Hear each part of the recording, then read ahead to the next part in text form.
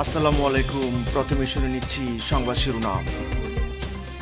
Corona virus কেলেঙ্কারিতে বাংলাদেশের সাথে flight বন্ধ করেছে ইটালি।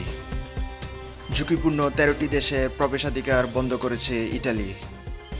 ঝুঁকিপূর্ণ করোনা ভাইরাস এলাকাগুলোতে জরুরি অবস্থার সময়সীমা আরও বাড়ানো হতে পারে বলেছেন ইটালিয়ান প্রাইম মিনিস্টার। ইটালিতে ভ্রমণকারীদের জন্য রুলস জারি করা হয়েছে। Italian the local newspaper থেকে আমরা জানতে পেরেছি করোনা ভাইরাসের প্রসঙ্গ টেনে তেরোটি দেশের সাথে ইটালির বন্ধ বন্ধ করে দিয়েছে। তবে সেখানে বিশেষভাবে উল্লেখ করা হয়েছে বাংলাদেশ এবং ব্রাজিলের কথাও। Armenia, Bangladesh, Bahrain, Brazil, Bosnia, Chile, Kuwait, North Macedonia, Moldova, Oman, Panama এবং পেরু সহ এসব দেশে যে কোনো কেউ যদি তেরো দিন অতিবাহিত করে থাকেন, তাহলে তাদের জন্য ইটালিতে প্রবেশাধিকার নিষেধাজ্ঞা জারি করা হয়েছে। সে ইটালিয়ান নাগরিক হোক অথবা ওই দেশের নাগরিক হোক, তাদের নিষেধাজ্ঞা জারি করা হয়েছে। পরবর্তী নির্দেশ আসার আগ পর্যন্ত, বলেছেন ইটালিয়ান স্বাস্থ্যমন্ত্রী রোবার্টো স্প্যারানজা এই ধরনের সিদ্ধান্ত নেওয়া হয়েছিল যখনই ঢাকা থেকে একটি ফ্লাইট আসে রোমে এবং সেখানে খুঁজে পাওয়া গিয়েছিল করোনা ভাইরাসে আক্রান্ত রোগীদের সংখ্যা। তবে এই মুহূর্তে ইটালিতে ট্যুরিস্টদের ভ্রমণ সীমাবদ্ধ করে রাখা হয়েছে এবং যদি কোনো ইটালিয়ান নাগরিক উল্লেখিত দেশগুলো ছাড়া অন্যান্য দেশ থেকে ইটালিতে প্রবেশ করতে চায়, তাহলে তাদেরকে অবশ্যই স্বেচ্ছায় চোদ্দ দিনের জন্য কোয়ারেন্টাইনে যেতে হবে। কিন্তু এখানে ইটালিয়ান সরকার এক উদ্বেগ ব্যক্ত করে বলেছেন, হতেও পারে তারা এই রুলসকে ফলো করতে নাও পারে। কেননা তিনি উদাহরণস্বরূপ একটি ঘটনাকে এখানে উল্লেখ করেছেন। বিসনেজার নর্দার্ন সিটিতে একজন ব্যবসায়ী এসেছিলেন, যিনি কিনা গিয়েছিলেন বসনিয়া এবং সার্বিয়া আই মিন সার্বিয়াতে। তিনি সামাজিক যোগাযোগ মাধ্যম থেকে নিজেকে দূরে রাখতে ব্যর্থ হয়েছিলেন। ওই ব্যবসায়ী অংশগ্রহণ করেছিলেন কোনো এক বার্থডে পার্টি এবং সৎকার কাজে। তবে তার অবস্থার যখন অবনতি হচ্ছিল, তখনই তিনি হসপিটালে গিয়ে ভর্তি হয়েছিলেন। ইটালিয়ান সরকার বলেছেন, যদি কেউ কোয়ারেন্টাইনের রুলস ভঙ্গ করে, তাহলে তাকে গুনতে হবে এক হাজার ইউরো ডলার। করোনা ভাইরাসের রোগী বহন করার কারণে বাংলাদেশের সাথে ফ্লাইট বন্ধ করে দিয়েছে ইটালি। গত সাতই জুলাই মঙ্গলবারে ঢাকা থেকে করোনা ভাইরাসের রোগী রোমে বহন করার কারণে বাংলাদেশের সাথে সমস্ত ধরনের ফ্লাইট বন্ধ করে দিয়েছেন ইটালিয়ান স্বাস্থ্যমন্ত্রী। ইটালিয়ান স্বাস্থ্যমন্ত্রী রোবার্টো স্পেরেঞ্জা এক প্রেস ব্রিফিংয়ে বলেছেন, ইউরোপিয়ান দেশগুলো থেকে এই মুহূর্তে যারা ইটালিতে প্রবেশ করছে, তাদের জন্য সর্বোচ্চ সতর্কতা অবলম্বন করা হচ্ছে এবং ইউরোপিয়ান দেশগুলো ব্যতীত অন্যান্য দেশের সাথে তারা এক সপ্তাহের জন্য সব ধরনের ফ্লাইট জরুরি অবস্থায় বন্ধ ঘোষণা করেছেন। স্পেরেঞ্জা আরও বলেছেন, আমরা অনেক ত্যাগ স্বীকার করেছি, আর কোনো করোনা ভাইরাস আমরা বহির্বিশ্ব থেকে আমাদের দেশে প্রবেশ করতে দিব না। তারা আরও বলেছেন ইটালির রোমে ফিউমিনিসো এয়ারপোর্টে যখন বাংলাদেশ থেকে ফ্লাইটটি আসে দুশো পঁচিশ জন যাত্রী নিয়ে, সেখানে তারা খুঁজে পেয়েছিল একুশ জনের করোনা ভাইরাসে আক্রান্ত। করোনা ভাইরাসের ঝুঁকিপূর্ণ এলাকাগুলোতে জরুরি অবস্থার সময়সীমা আরও বাড়ানো হতে পারে বলেছেন ইটালিয়ান প্রাইম মিনিস্টার।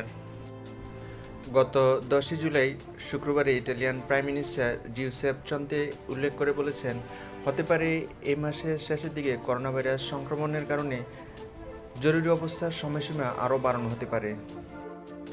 গত দশই July Italian the local newspaper থেকে আমরা জানতে পেরেছি, ইটালিতে ভ্রমণকারীদের জন্য জারি করা হয়েছে নতুন নিয়মকানুন। গত মাসের শেষের দিকে ইটালিতে কয়েকবারই তাদের রুলস চেঞ্জ করেছেন যারা ইটালিতে ভ্রমণ করতে তবে রুলসগুলো ইউরোপিয়ান ইউনিয়ন দেশগুলো থেকে সম্পূর্ণ ভিন্ন। তারা আরও বলেছেন, যারা ইটালিতে প্রবেশ করবে, তাদেরকে অবশ্যই কোয়ারেন্টাইনে যেতে হবে।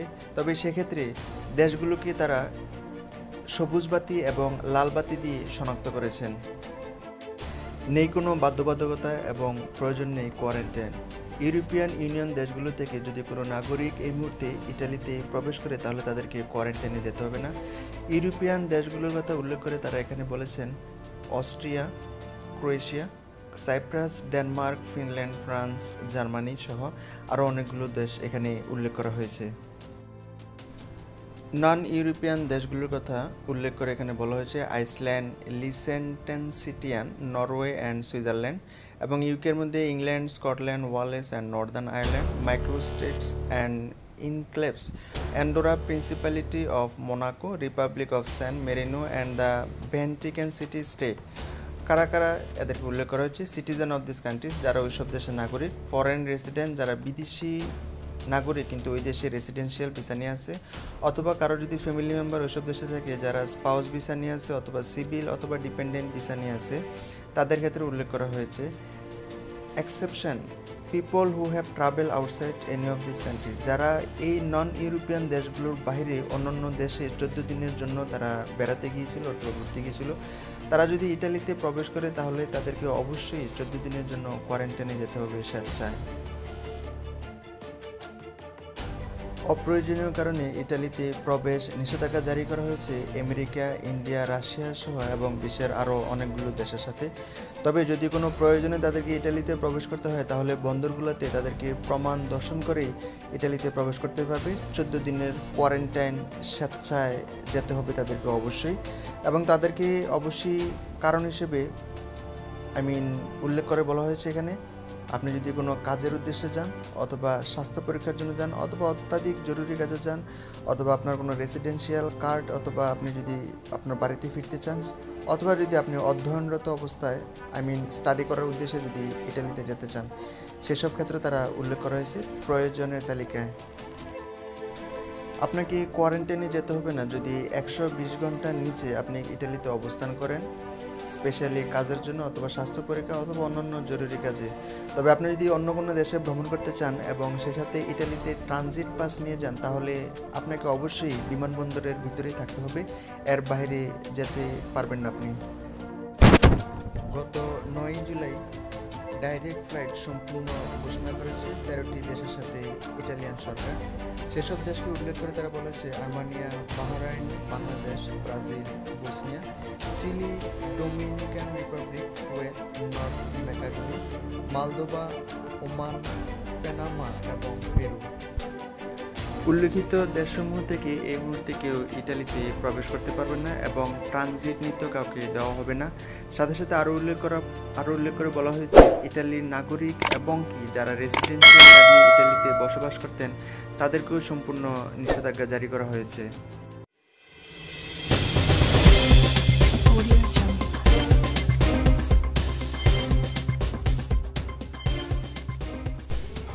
সুতরাং গত কয়েকদিন যাবৎ আমরা অনেক ধরনের খবর পাচ্ছি বিভিন্ন গণমাধ্যমে। আপনারা কেউ বিভ্রান্ত হবেন না। আপনাদের যত বন্ধু বান্ধব আছে ইটালিতে সবাই সবার খোঁজখবর রাখবেন এবং সেখান থেকে আপনারা অনেক আপডেট পেতে পারেন। সবাই পরিবারের খোঁজখবর রাখবেন এবং বন্ধু বান্ধবকে সচেতন করবেন। সবাই ভালো থাকুন, সুস্থ থাকুন। News from Al Jazeera thank you very much